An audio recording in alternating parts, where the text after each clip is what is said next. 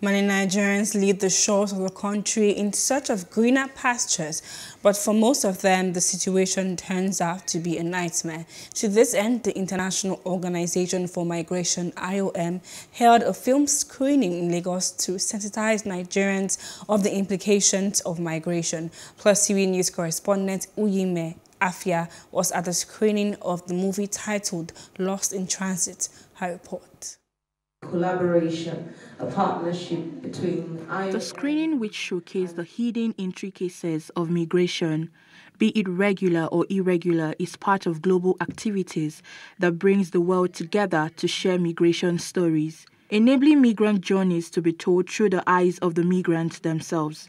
The movie Lost in Transit tells the story of a young girl who attempted to migrate through the irregular route and got stuck in transit.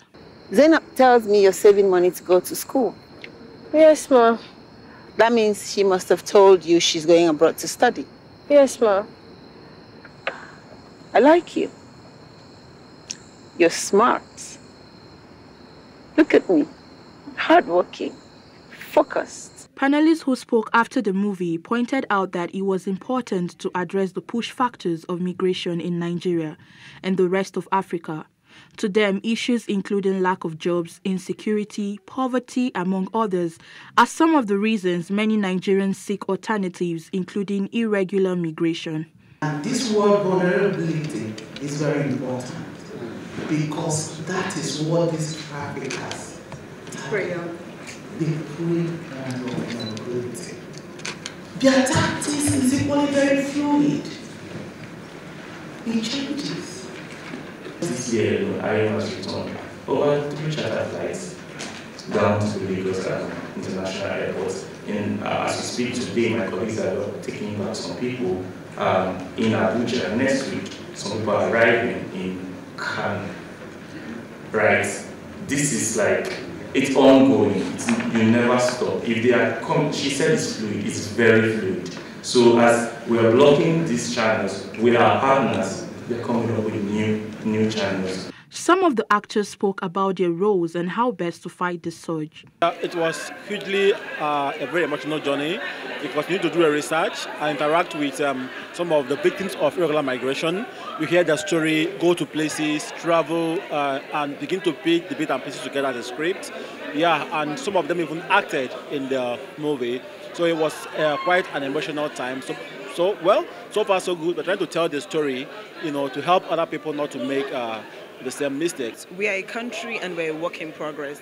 All these bodies that are here today for the screening, they are working towards that. You see people, they say they station two people at the local government. They have people in the bus movement, the blue bus movement. They are doing films, they're doing cinema bus, they're doing so many things. So these are things they are doing as a collective, as Nigerians. So the work is not even done. Empower the youths create employment opportunities, create atmosphere for people to thrive, and then the number of people who want to leave, leave the country will be very, very reduced.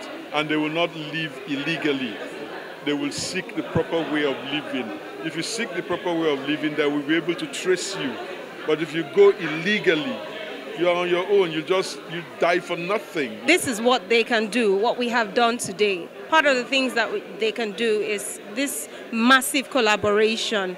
We have, you know, a private production company um, as a consultant working with different government and you know intergovernmental organizations like NOA, NAPTIP, IOM, and all the likes that we saw today. So it's this type of huge partnership that can make you know um, creating such awareness and advocacy and coming up with you know beautiful, mind-blowing solutions that can nip such a menace in the bud. The OIM, however, pointed out that even though the regular migration was preferable, every information, including the kinds of jobs to do, must be thoroughly sorted before any Nigerian leave the shores of the country. Uyime Afia Plus. Please do subscribe to our YouTube channel and don't forget to hit the notification button so you get notified about fresh news updates.